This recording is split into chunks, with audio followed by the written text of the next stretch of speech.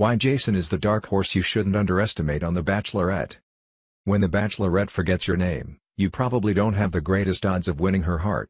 Yet, Jason on Becca's season of The Bachelorette may be the exception to that rule. He hasn't received the most screen time, but Jason can win The Bachelorette.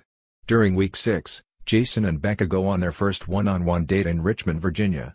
And while Becca's connection to Jason wasn't as instantaneous as it was to some other men, Jason is absolutely one to watch in the latter half of the season.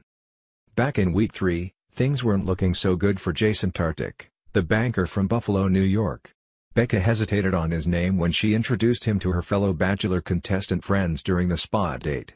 But the Bachelorette was most likely distracted by the drama between Colton and Tia, and Jason handled the unintentional slight like a champ.